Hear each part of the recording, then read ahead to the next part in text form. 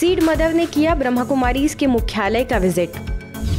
Seed mother के नाम से जानी जाने वाली राहीबाई सोमा पोपेरे ब्रह्मा कुमारी मुख्यालय पहुँची और उन्होंने ब्रह्मा कुमारी की मुख्य प्रशासिका राजयोगिनी दादी रतन मोहिनी जी से मुलाकात की। आपको बता दें कि राहीबाई को बीबीसी की 100 शक्तिशाली महिलाओं में शामिल किया गया है। वह एक आदिवासी भारतीय महिला किसान और संरक्षणवादी है।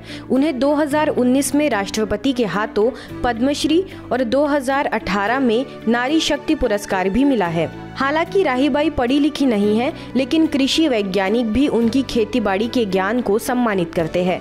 वो जैविक खेती की अच्छी जानकार है, इसके लिए उन्हें समय समय पर कई संस्थाएँ सम्मानित भी करती रही है। राहीबाई अहमदनगर ज़िले के कोम्भालने की रहने वाली है। उन्होंने बैफ फाउंडेशन की मदद से कुछ महिलाओं को लेकर एक कलसुबाई बीज संवर्धन समिति की स्थापना की है, जिसके संस्थापक भी वे खुद है। असली जो काम है, वो देशी बीज को संवर्धित करना और किसानों तक वो लेके जाना। बायफ ए ऑर्गेनाइजेशन की ओर से जो भी सपोर्ट उनको टेक्निकल सपोर्ट बाकी फिनांशियल सपोर्ट भी होगा तो वो सपोर्ट दिया जाता है। और लास्ट ट्वेंटी ईयर से हमारी टीम ऐसे गरीब लोगों के साथ जुड़ी हुई है।